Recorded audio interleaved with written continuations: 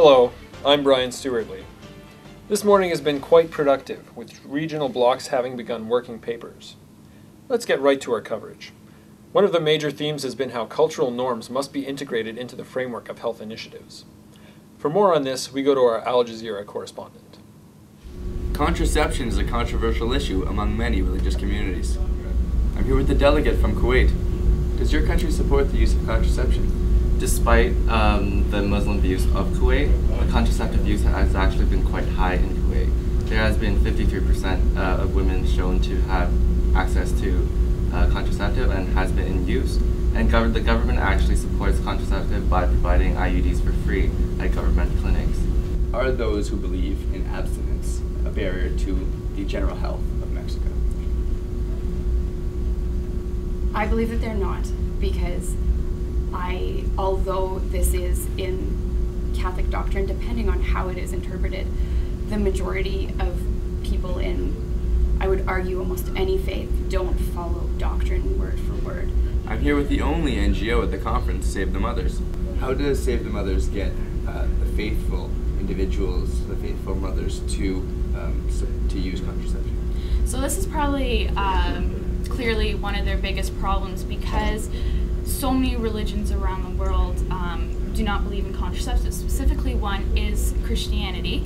Um, but I think what's uh, good about the program in Uganda is that they go in with religious views, the same, uh, almost the same views as the ones in Uganda, and they still are promoting it. I'm Joel Balsam, reporting for Al Jazeera. Thanks, Joel.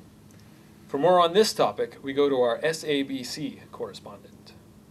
Hello, I'm Nathaniel Feinstone, representing uh, the South African Broadcasting Corporation. Family planning and contraception is, while it's so controversial when it comes to religious, the religious aspects behind it. I think we need to, as delegates, move beyond that. Is there an existing framework to integrate women's rights into a patriarchal society?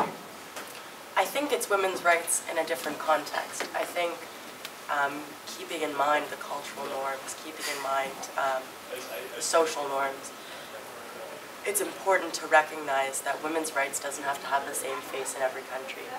As long as women are safe, as long as women are healthy, as long as women feel that their place in their world and in their family is respected, that's women's rights to me. Remember to follow MonWHO Media on Twitter.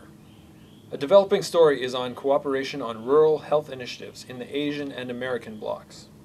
Hi, Brian. As the plenary quickly approaches, delegates are working hard on their resolutions. Some of the main themes in all the regional blocks have been vaccination campaigns, sensitive to cultural norms, and rural initiatives. Let's take a look at what some of the delegates have to say.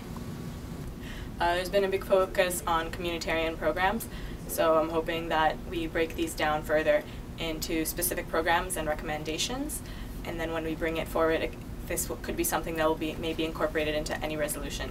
Okay.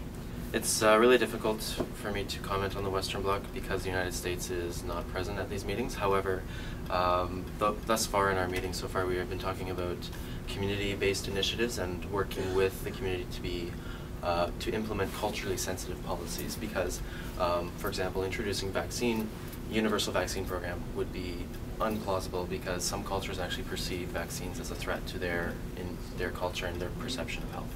Um, currently, we believe that uh, a lot of the issues that we're having have not been addressed.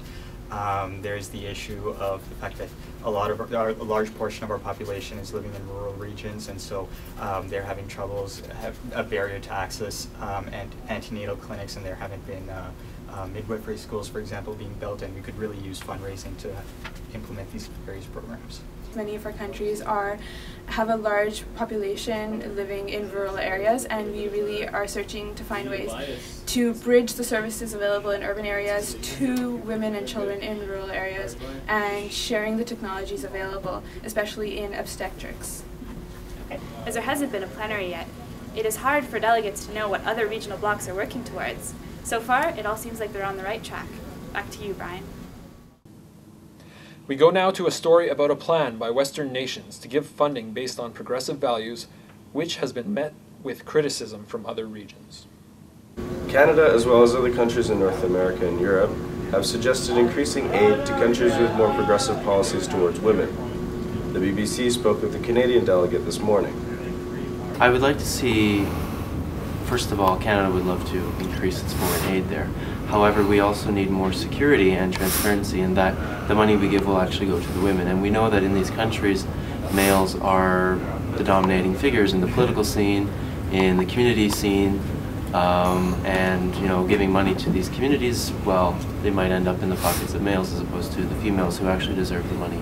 From what you're saying, I'm guessing that uh, a country's policies towards rights of women will affect the amount of aid that Canada gives them. Um, I would say so because just simply because there's less I would suspect that there might be less of a result from our foreign aid. If we Mhm. if we donate to a country where we know that women are valued and we know that the funds that we give them are going to the women, then I think that would be completely fine. The delegate from Sierra Leone thinks that countries in developed nations need to be more sympathetic. is the countries actually in the African bloc um, have found it almost frustrating um, the fact that northern and you know northwestern countries are imposing um, their views on abortion um, upon these African countries. We are making steps, you know, we are developing um, in terms of our strategies. Um, yes, it is condescending, but yes, we do need the funding. We would appreciate more sensitivity to our condition. I think for I think for many Western countries, Pakistan is a key player in in many military initiatives and many conflict-related initi- initiatives, and so uh, not much attention is being given to other areas of the country that do need improvement. But you think that the that Canada, for example, would be correct in saying that uh, countries like Pakistan have less um, less aid arrives to women. It's disproportionate in that sense. Would you agree with that? Yes, we would agree that this is the case, but we are taking concrete steps to improve a that situation to bring equitable access to healthcare. Michael Bramett at Wilcock, BBC Health, Montreal. That's all for now, and remember to keep checking the website for the latest news and commentary.